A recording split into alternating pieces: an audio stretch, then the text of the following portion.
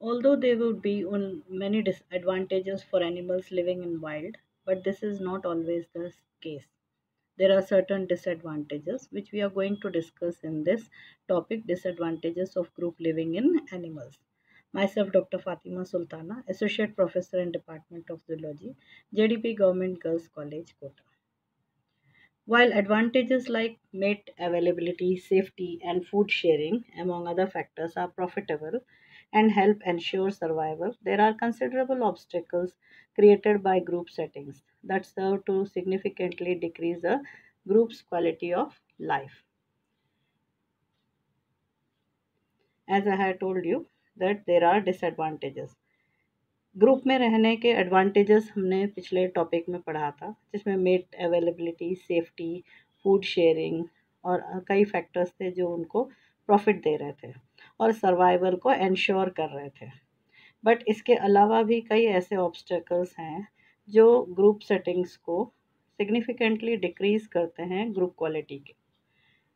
उनमें से जो है, कुछ जो डिसएडवांटेजेस हैं, वो है mainly greater is the competition for food mates sleeping sites and water increase parasite and disease load there is an incidental reason why some animals live in groups कई रीजंस हैं जो, जिसकी वजह से एनिमल्स जो हैं वो ग्रुप्स में रहते हैं। Concentrated valuable resource attract individuals कुछ रिसोर्स ऐसे होते हैं जो अट्रैक्ट करते हैं इंडिविजुअल्स को कंसनट्रेट होकर के ग्रुप में रहने के लिए।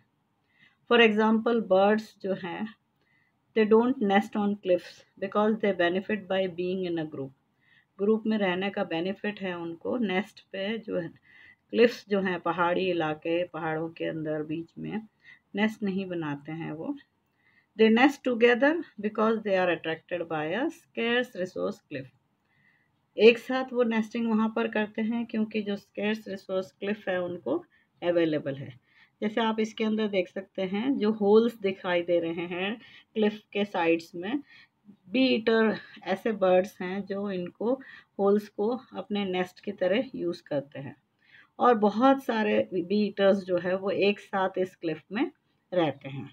इसी तरह वल्चर्स है, ईगल्स हैं, वो भी क्लिफ्स के ऊपर जो है हॉलो, शैलो जो एरियाज़ हैं उसको जो है नेस्ट के तौर पे यूज़ करते हैं। तो रैप्टर्स जो हैं वो ज़्यादातर क्लिफ्स को जो है अपने नेस्टिंग्स के लिए यूज़ करते हैं। Now we see that increased sickness and disease is found more and it is higher in the large groups. Animals that live in close proximity to one another face higher risk of infection than do individual animals.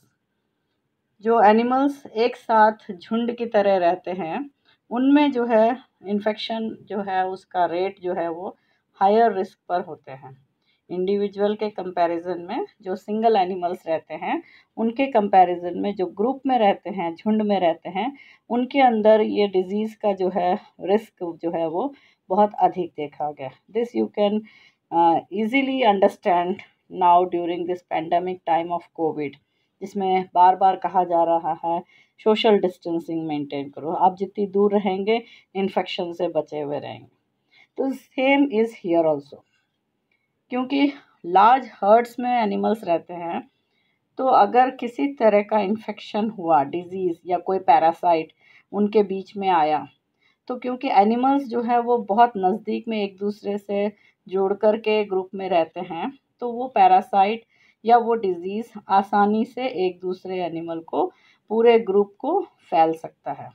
तो disease and parasites can be passed between animals living too closely together, and this can dramatically decrease a group's number. और क्योंकि disease बहुत तेज़ी से animals में फैल जाता है तो ग्रुप की संख्या जो है वो ड्रामेटिकली छोटी हो जाती है, यानी रिड्यूस हो जाती है डिक्रीज हो जाता है। Because the animals have been infected together they die together So suddenly we see there is a drop in the population of that group number. Now some animals might die as a result of direct sickness.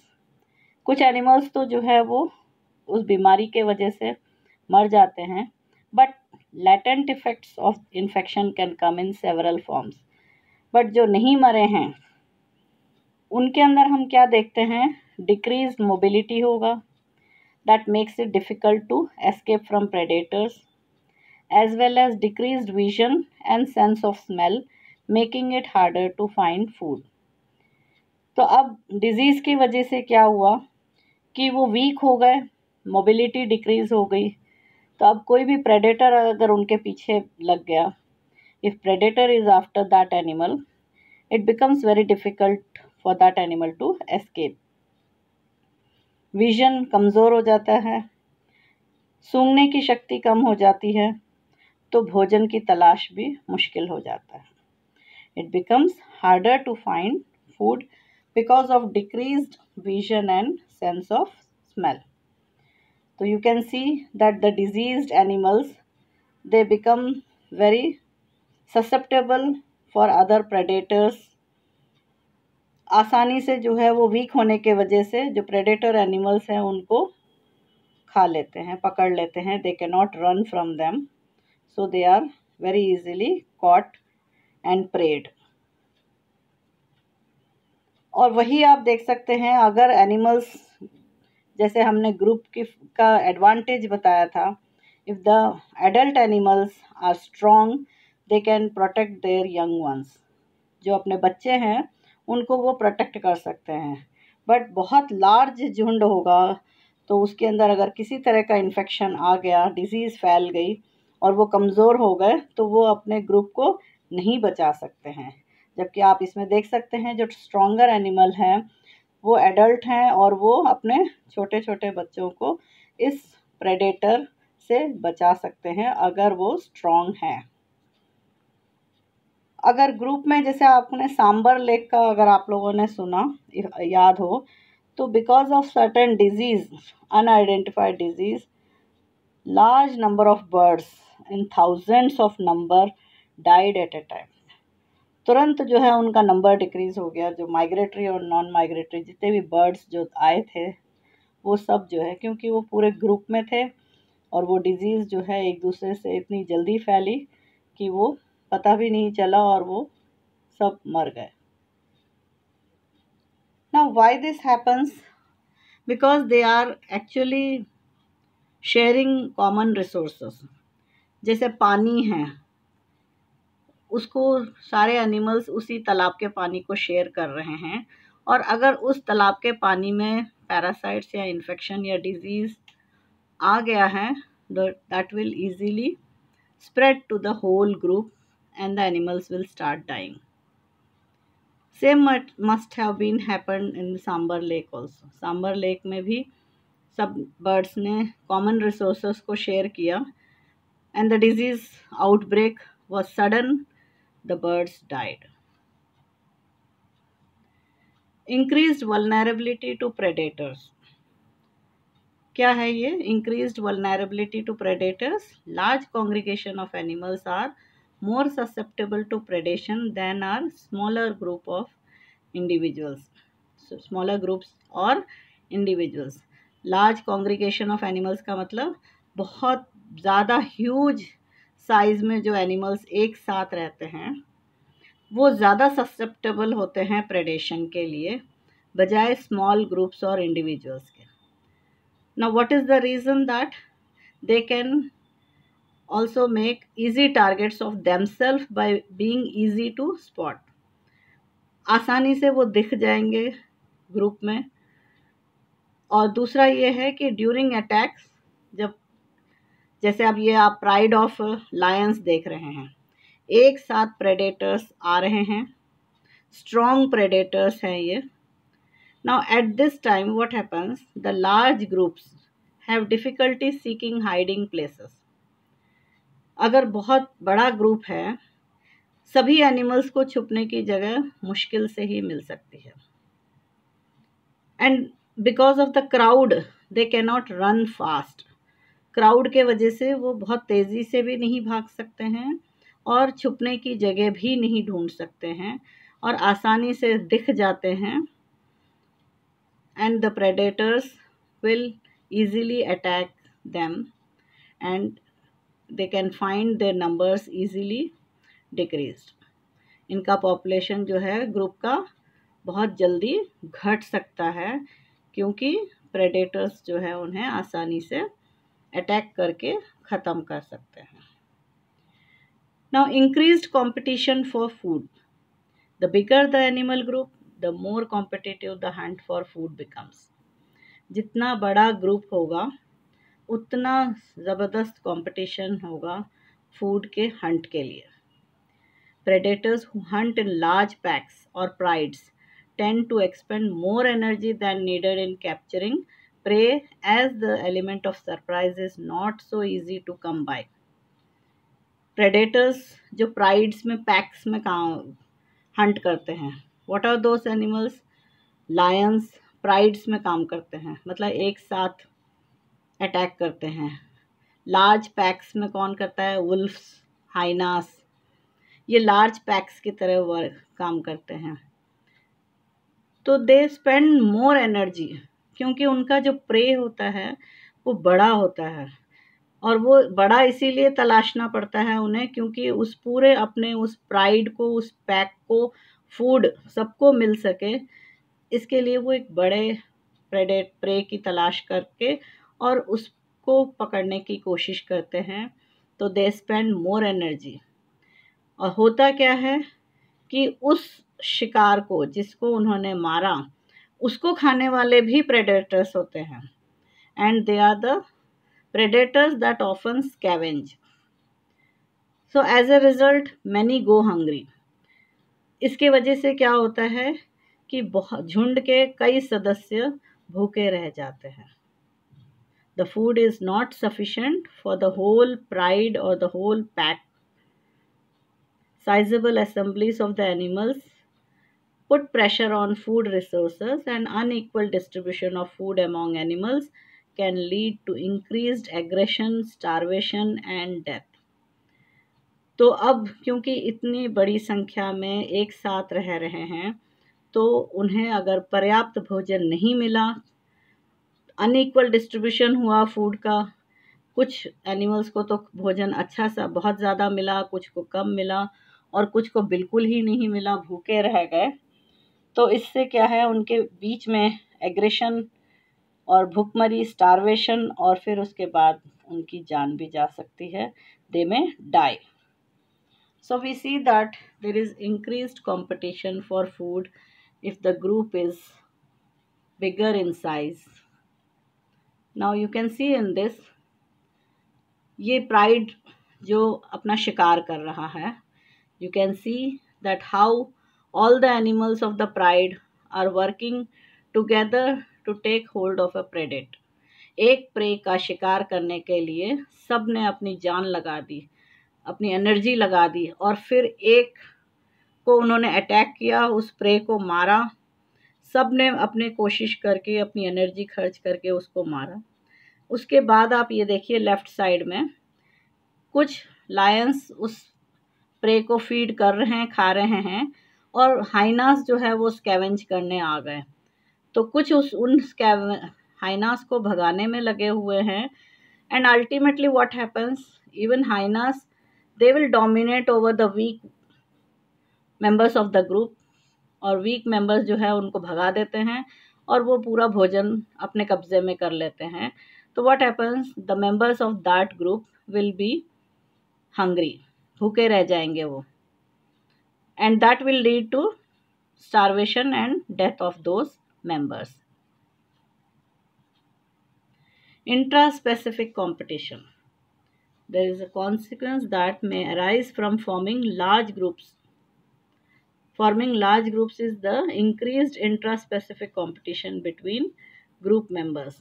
Now, if resources in a group's environments becomes limited, group members will then have to compete with one another for the available resources. The increased competition then results in reduced nutritional intake in some individuals compared to others. बहुत बड़ा group होने की वजह से intra specific competition भी होता है group members के अंदर। सेम ग्रुप के मेंबर्स के अंदर भोजन का जो कंपटीशन है, अगर वो बढ़ जाता है और जो अवेलेबल रिसोर्स हैं, वो कम पड़ जाते हैं तो कुछ मेंबर्स का जो न्यूट्रिशनल इनटेक है, वो रिड्यूस हो जाता है। In comparison to the other individuals उसी सेम ग्रुप के दूसरे इंडिविजुअल्स के कंपैरिजन में कुछ इंडिविजुअल्स का जो है इनटेक कम रह जाता है। फॉर एग्ज़ाम्पल एक स्टडी किया गया था लीफ मंकीज़ पे।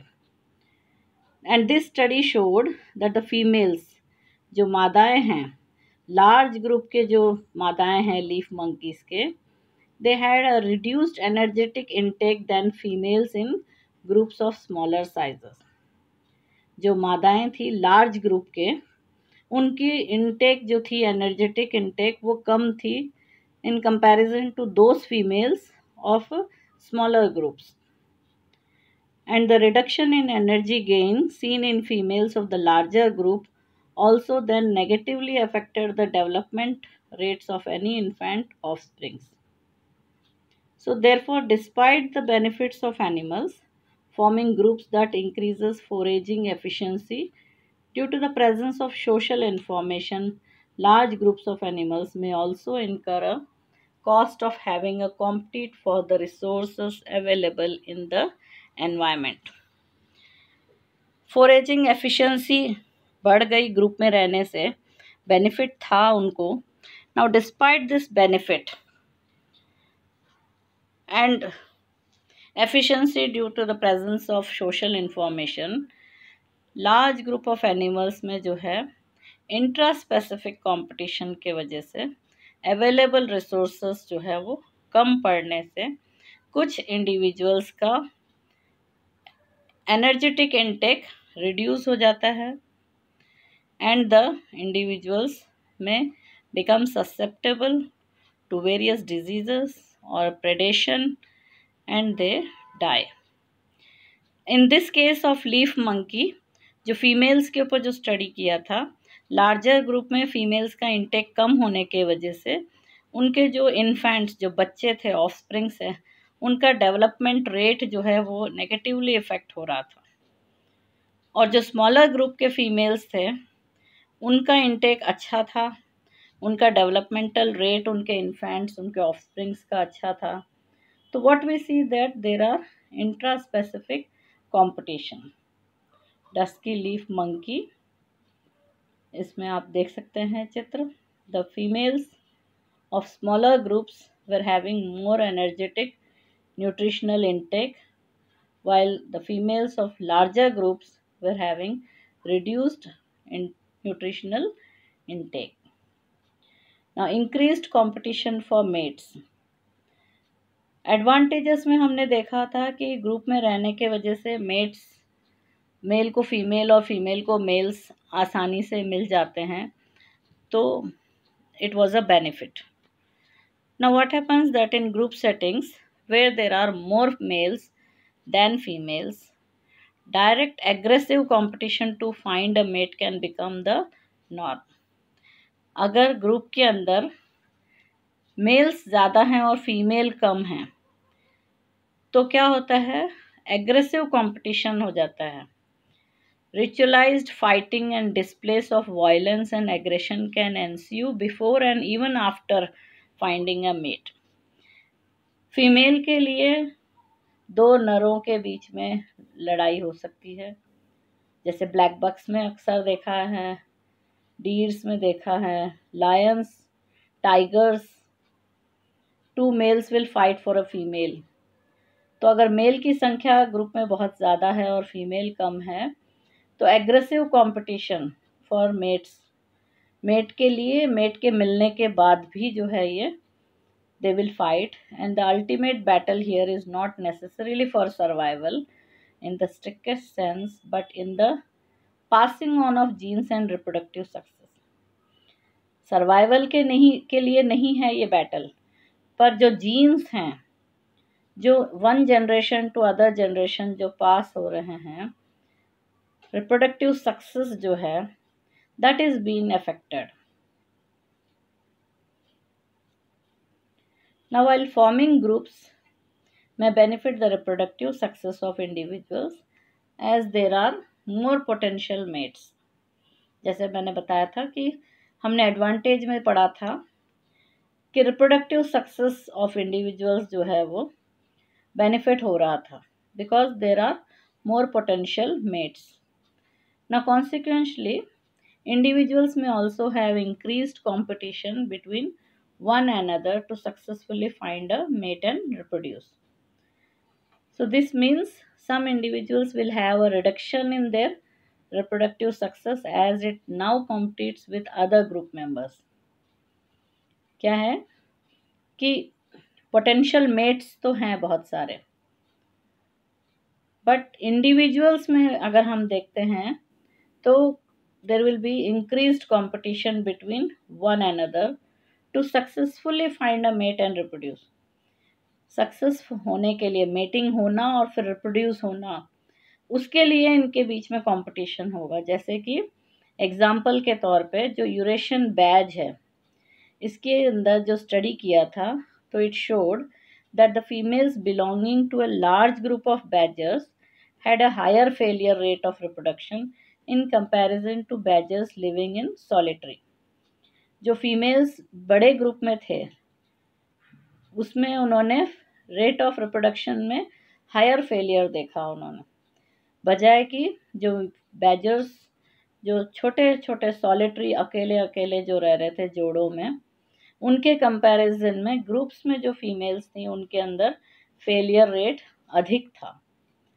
Therefore some individuals may actually show reduce reproductive reproductive success while living in a group despite the increased presence of potential mates. तो इस कारण क्या है कि भले ही although there is presence of potential mates mates हैं, बहुत सारे नर हैं जिनके साथ मेट कर सकते हैं, पर उसमें अगर इंडिविजुअल्स ही अगर रिड्यूस रिप्रोडक्टिव सक्सेस शो करेंगे तो ये जो कंपटीशन जो है रिप्रोडक्टिव सक्सेस का, वो डिक्रीज होगा। As we have seen in the case of Eurasian badgers females of large groups showed reduced reproductive success females living solitary way showing increased reproductive success inbreeding inbreeding हमको किसको कहते हैं? जो same group के group members के बीच में ही होता रहता है mating so another proposed cost of group living is the increase risk of inbreeding as members of the group in close proximity to one another over long periods of time this increases the chances that offspring of the group may mate with